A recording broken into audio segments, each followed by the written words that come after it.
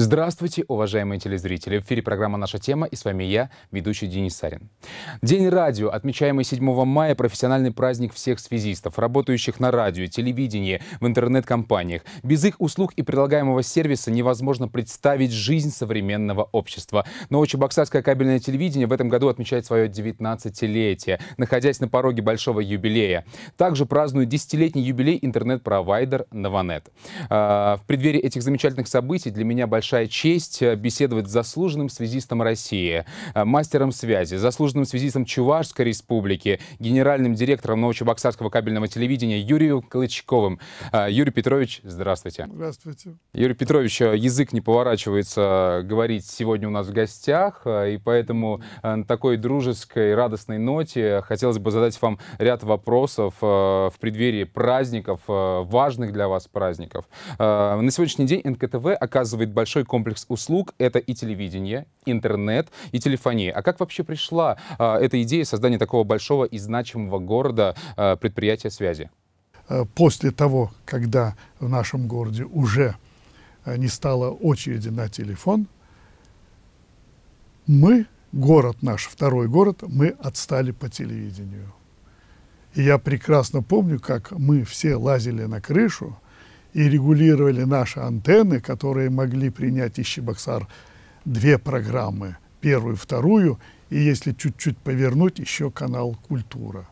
В Чебоксарах уже было 10-15 каналов телевидения, а мы вот еле-еле-еле-еле видели. И а тогда, об этой роскоши. И тогда вот меня, э, ну как так, по телевидению мы, ой, по телефонии мы лучший город в республике, а по телевидению мы значит, имеем вот эти антенны на два канала. И тогда-то вот у меня состоялась, ну, не встреча, а разговор с генеральным директором Волга Телекома Зарайским Виктором Яковлевичем, кому я подчинялся напрямую. И мы с ним вначале побеседовали и как бы решили, что э, Волга Телеком продолжит, как в Чебоксарах, и здесь строительство кабельной сети – тогда еще не оптика волоконный, а медный, тогда вот и появилась идея. Тогда появилась идея э, создать создание. создание предприятия. Тогда молодые ребята, уже я знал молодых ребят, которые, э, как я вас всех называю, золотая молодежь Новочебоксарска, вот тогда-то мы идея пришла. Юрий Петрович, мы благодарим вас за, уже за такой подробный, развернутый ответ. А, и сложилось так, вот хотелось бы следующий вопрос обсудить с вами. Сложилось так, что телем, э, телекоммуникационный рынок Чувашии широко представлен операторами связи. А, и не только местного уровня, но и федерального значения. А как вам удается и в высококонкурентной борьбе оставаться одним из ведущих операторов города? Надо сказать, что 13 деревень Чебоксарского района сегодня являются нашими горожанами, имеют телефонную связь, интернет. Это начиная от аэропорта, это пост ГАИ, это Новый город, Пихтулина, Типсермач, Мурша, Аркасы, Юракова, Липова, Кодаркасы, Толикова. Это две средние школы, которые имели по одному телефону, и какой мог быть у них в то время интернет уже и по одному телефону в каждой деревне. Там сегодня имеют каждый второй дом. Цифровые номера. Они к нашему городу. И вот как раз после этого-то мы и пошли уже к строительству э, оптиковолоконных сетей. В городе здесь имеем 4-5 операторов, и все мы друг друга знаем хорошо, э, друг друга посещаем, бываем в гостях. Конкуренция должна быть, и самое главное, у человека должен быть выбор. У любого горожанина должен быть выбор. Мы приехали сюда э, почти 50 лет назад в город и его строим. Поэтому, конечно, мы будем бороться за свой город. Но под солнцем места всем будет достаточно. Юрий Петрович, вы сказали, что а, наша компания, компания НКТВ, Новонет, а, расположена в пяти городах нашей республики. А, в отличие от друг... какие же, точнее, есть отличия по сравнению с другими провайдерами? Что нас отличает от других? Мы э, предоставляем услуги в пяти городах и в пяти поселках, населенных Даже пунктах. Так? Да, ну я их могу перечислить. Мы, как провайдер, мы не выбираем только города, только многоэтажки. Мы, наверное, один из единственных операторов здесь в городе, кто идем в населенные пункты, в частный сектор. Я назову только город Козловку, где более тысячи частных э, домовладений пользуются нашим телевидением, э, нашим интернетом. Вот. Чуть поменьше в Цивильском, э, чуть побольше в Кугесях, вот, в Лапсарах. Я только и хочу сказать, что мы, мы с вами компания социально направленного развития.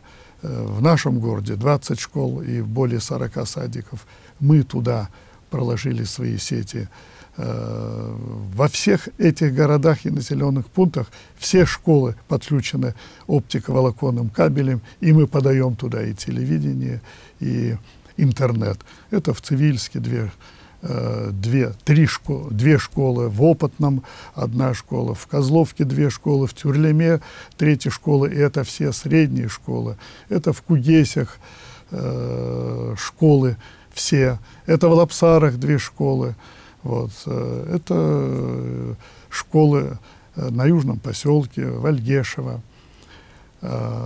Поэтому мы хотим свои услуги предоставить и вот тем жителям, которые живут в частном значит, секторе. Они тоже наши значит, жители республики, они тоже э, хотят видеть, слышать в хорошем, отличном качестве и иметь тот же интернет. Мы с вами не назвали еще и о безопасном городе, об МЧСе, о мы ведь э, этим занимаемся, город наблюдаем по нашим каналам, нашими камерами с МЧС. Это, это уже отдельное направление отрасли связь. Юрий Петрович, и 13 э, лет назад было открытие студии НКТВ, и нашим телезрителям хотелось бы узнать, что изменилось за эти годы и что ждет телезрителей от единственной телекомпании нашего города. Выезжали в Казань, выезжали в Канаш, выезжали в Чебоксары на канал 5+, в Йошкар-Олу посмотреть, а что это такое, а с чем ее едят. И мы первую студию на 73-й АТС, которую мы строили для э, АТС, значит, итальянцев, э, разместились там, была первая студия там. И вот видите, сегодня мы уже в своем здании, сегодня, в да, в своем доме мы э, реконструируем студию, вот и сегодня мы уже в, студии э, находимся в другой, в более комфортной. И у нас есть перспективы. Мы уже э, немало знаем про это. Вы, журналисты у нас молодые, вы ведущие. Поэтому у вас все впереди. Но город хочет знать, и не только знать, и ви, должен видеть. Видеть хорошее, видеть э, недостатки. Вот. Но чтобы было это э, правда. Город должен видеть правду. А, маленький экспромт хотелось бы сейчас озвучить. Я знаю, что у связистов есть э, такой шуточный тост э, «За связь без брака». Да? Э, а что вы еще можете пожелать нашим горожанам в преддверии Дня работника всех отраслей связи и Дня Победы? Ну вот то, что вы сказали, без связи, без брака, да, и другая такая же шутка, и в дождь, и в грязь обязана работать связь. И в связи работают, работают люди очень ответственные. Сколько вот я уже 48-49 э, лет работаю в связи, и я знаю, что в связь приходят те, кто не ответственен, он в связи не работает. Ее нужно любить и нужно относиться. Без связи не может жить страна. Всех хочу, связистов, кто работал со мной, поздравить с наступающим праздником э, Дня работников всех отраслей связи. Раньше мы называли День радио, сегодня мы называем его. Им всем пожелать здоровья, удачи, э, успехов э, и на работе, и дома. И в преддверии за нами великий праздник, э, значит, День, День Победы, Победы День... Э, с сыном отца, который от Сталинграда дошел до Берлина и вернулся. Я хочу всем живущим сегодня в здравие, здоровье им. Это великая победа, это, это наша гордость и э, наша заслуга наших отцов и дедов.